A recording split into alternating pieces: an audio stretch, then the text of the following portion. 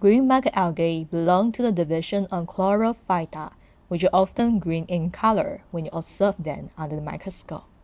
Like other macroalgae, green macroalgae lives in most of the aquatic environment. So how do these green macroalgae related to the aquatic invertebrates around them? Do their interaction bring an impact to the human community? Perhaps understanding the relationships between chlorella and rotifers will lead us to the answer. Chlorella is one of the famous microalgae genera that have been widely used in microalgae industry. It is spherical to subspherical shape and has a Latin name which means little green microalgae. Its relative size was between 2 to 10 micrometer in diameter. This could make people overlook this green microalgae when they observe the microalgae population from the nutrient-rich waters where chlorella usually live. Besides its size, the most significant characteristic for chlorella is the presence of perioterm chloroplast, which could almost fill cells entirely.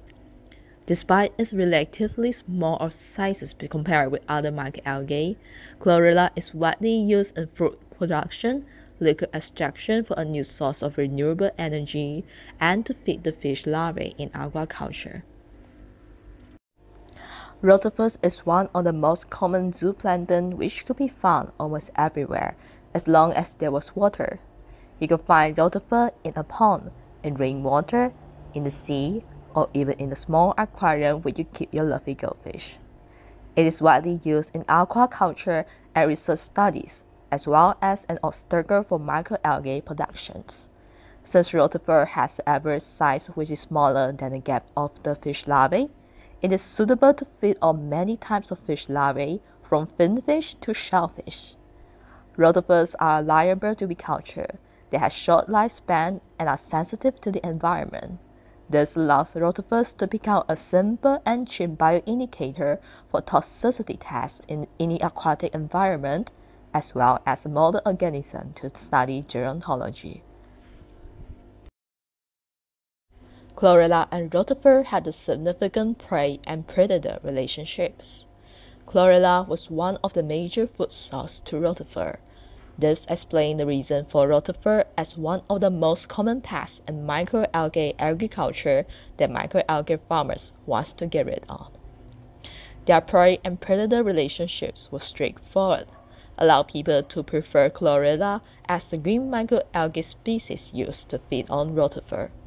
This is useful to culture rotifer as a feeding stock to feed the fish larvae in aquaculture.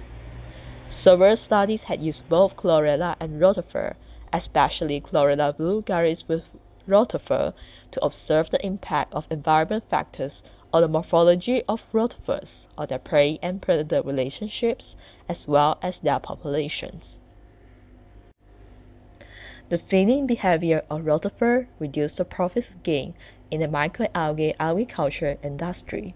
This phenomena allow microalgae farmers to consider the presence of rotifer as one of the obstacles that microalgae farmers and scientists need to overcome to protect the population of chlorella without changing the lipid content and nutrient content in it.